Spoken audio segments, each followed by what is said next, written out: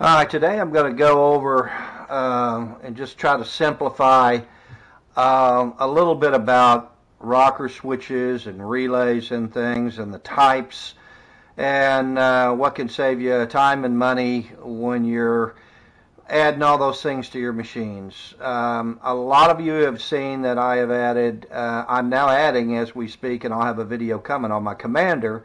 I'm also adding a fuse block to it as well. Those things are dirt cheap on Amazon. I want to say 12 to 18 dollars tops for six uh, zones on it. So easy to install. They ensure, you know, you've you've seen the videos on YouTube of guys' rides just catching fire for no reason. Sometimes it's gas related, but sometimes it's electrical because guys are going out there and saying, well, I don't need this and I don't need that. I, I just wanted to give you a quick lesson on that. Uh, uh, first off, why do we need a relay? And what is a relay? Relay is simply a bigger switch that will conduct more current um, that allows you to use uh, higher voltages. It's going to have, um, you know, like a 14, 12, 10 gauge wire coming out of it uh, so that it'll handle the load of whatever power is pushing through it. If we used a simple switch, uh, for instance, if you can see this, it's rated at 20 amps. That's pretty high. Most of these are. You could probably get away with that possibly as long as you had an inline fuse with a, a, a small light bar, but why take the chance? Relays are easy to install. They're cheap. You can just replace, as you all know, the relay if it goes bad. Put them in a place uh, where you don't get a lot of water on them. You know, that way with them so that the water goes off and down and doesn't go into them and ruin them. They're not waterproof, most of them aren't, even though these manufacturers sell these kits for side-by-sides. So what do they do? Simply put, they connect heavier currents to your batteries. They typically have an inline fuse before they get to the relay. So then the relay goes out to you, whatever you want to put, a horn, your lights, uh, you name it, winches, and, and, of course they have their own relays. But the point is, now you can carry higher currents and switch them on and off. Notice the size and gauge of the wires for the actual switch itself. Very small. Uh, these are probably, I'm going to guess them at uh, anywhere from 20 to 23 gauge. They don't have to be thick because all they are is they use electrical current to force a switch to close in into this unit and allow heavy electricity to come through it or heavy amps to go through uh, there because amperage is what burns it up. So what happens is if you've got too skinny of wires, never, I always overdo my wiring, never underdo. When you draw too many amps through a skinny wire, thin wire, uh, high, light gauge wire, it continues to heat up. The longer you have your run, the more heat you're going to generate. And that's what happens. These things catch on fire. Now put them anywhere near your your exhaust. Add the additional heat coming, like on Commanders and Mavericks and all those, where your your motor's in the middle and you're running wires down there above it. Combination of the two could catch on fire pretty quickly. And so that's that's the importance of a relay in there. Use it for everything if I were you. These things are so cheap. You can get them for as cheap as eight bucks online um, for ones that will do smaller stuff. If you're running these heavy duty um, 1200, 1800 watt light bars, 2200s, I'm seeing all kinds of crazy ones out there these days. You want to make sure you get heavy duty, heavy gauge for that. So that's the scoop on those. Let's talk about switches themselves. Most rocker switches are typically a 20 amp switch. They'll handle a lot. You see the smaller ones. Uh, this happens to be a waterproof unit. I think this one's rated at 5 amps. You can barely see it, um, but it is rated for 5. Some of these are rated for as little as 1.5 amps. So you got to be careful with these switches. They will also also short out, burn up, whatever the case may be. Uh, this one I'm going to use for um, heated seats. Uh, that's another video coming up. I'm putting heated seats in my X3 and uh, maybe in my Commander too, even though I live in Houston, we don't have much winters, but sure is nice to have a warm butt for about Uh, per unit, I'm guessing probably 40, 50 bucks per unit. And you have heated seats. Push a button and you stay warm during the winter. Can't believe a lot of you guys up north haven't done that already. I'll show you that soon. As soon as those come in, they're on their way from China.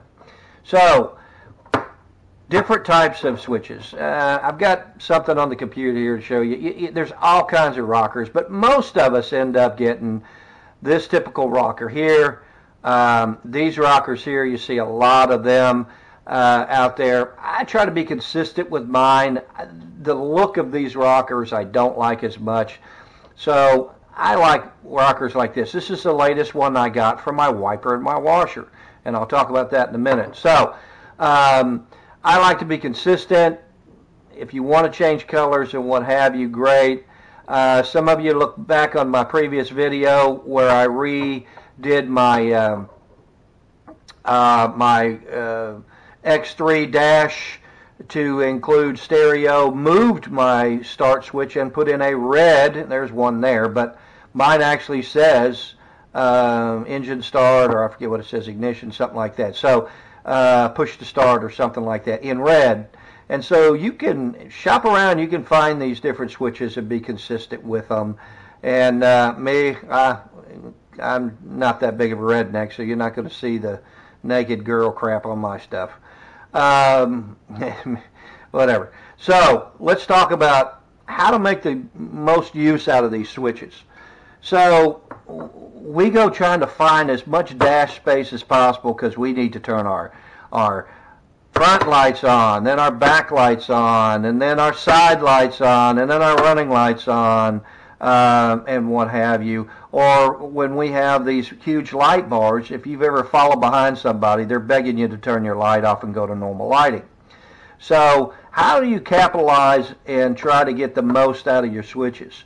You know, your average switch runs you about, I think, about eight, nine bucks. Catch it right, Amazon, um, and uh, on uh, eBay and what have you on some of these other sites.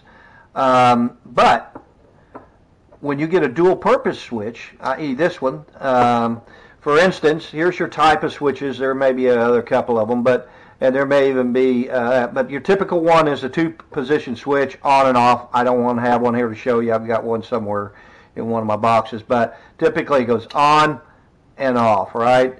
And so that's going to allow you to put maybe one thing on it. You could probably wire up two things on it as long as you have one of these connected to those other ones. You're going to be safer. You start running too many units through one switch, you're going to burn it up and you're going to cause uh, some electrical issues in your unit and possibly a fire. So there's that. And then you have an off, momentary on. And um, I have one of those, can't find it right now. I think I've got it in storage. I've been working on units at home and in storage. So momentary on is basically on and it comes back to off again. It's momentary. It does not stay on like this. It comes back and automatically goes back off again by itself, right? So there's your typical momentary on. What would you use that for? Eh, windshield wiper, horn, right? And some of these, I have mine that say horn on it, but I'm switching my horns, as some of you have seen in my other videos, to buttons on my steering wheel. But I have these types of switches that say horn on them, nice, lit up, and you just momentary horn and you're on. And so those work out good. But then here's when we come into saving space on our dash, saving switches. And that's an on-off on switch. And that's a switch like this, a switch like this, switch, um, this is actually not. This is a on-off on. So in the middle position, you're off. Let's say you don't use your front and your lights, back lights all the time, your light bars. So why not take one switch and say, okay, when I'm on in the front, um, I'm going to push it up, and now I have the front lights on. If I want to go in the back, I'm going to push it back, and I've got the back lights on. In the middle, they're both off. All right, nothing lights up uh, in these units. And so that's a that's a nice switch too to be able to utilize two or three different functions that you don't need at the same time in your rig, right? Um, here's another solution. So I was talking earlier about running light bars and additional light bars. So some of us have, and I'm adding them now to mine. I've had a light bar in front, but I'm adding now that I ride behind other people. I'm not, I'm not in the lead anymore. There's some guys that know how to take these serious trails and serious climbs better than me at night. So I ride behind them. So I still need more light than what my headlights have put out. So I'm putting a couple of uh, smaller light bars on. I got a 12 inch coming uh, to go on my uh, uh, deal. I may put a second one on. But the point is, what if we didn't have one switch for that, one switch for a big light bar, one switch for this?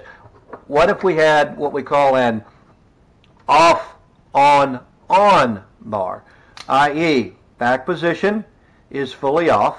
You notice there's a lot more poles in here. First position would turn on your running lights, uh, would turn on maybe your uh, chaser lights or what have you, or turn on your front lights. Second position turns that light bar on because again, we're using one of these so you don't have to worry about drawing too much amperage out of these things because uh, you draw very little amperage uh, when you use a relay. So now you can go off, on, on, and now you have your light bar going on. Click it back one click. You still have your running lights on or your front lights on. So you get you get the idea here. Uh, next one on the list is an on-off momentary on, and I'm still looking for one of those that say wiper washer because I sure would like to have my wiper goes on down here, um, but then I need my washer motor to go uh, because I'm putting um, DIY on the cheap, less than $100 wiper and washer systems on both my Commander and my Maverick here in the next couple of months. And so I've already bought the parts for the X3. I'm going to try it out first. If it works out. But wouldn't it be nice to have a momentary on up here that kicks back? So it's just like uh, doing your washers in your truck, right? They're on, and then you can push them again, and they're momentary on. So I would love to have actually an off, on, momentary on for my washers that kicks back into the wipers going back up to that. So that's the scoop on a lot of these switches. And don't be afraid. I mean, some of them buy these expensive kits and uh, systems and what have you. These switches aren't hard to put in. They're very simple. They pop in each one may have a different wiring diagram. So when you buy your switch, just make sure you have access to the wiring positions.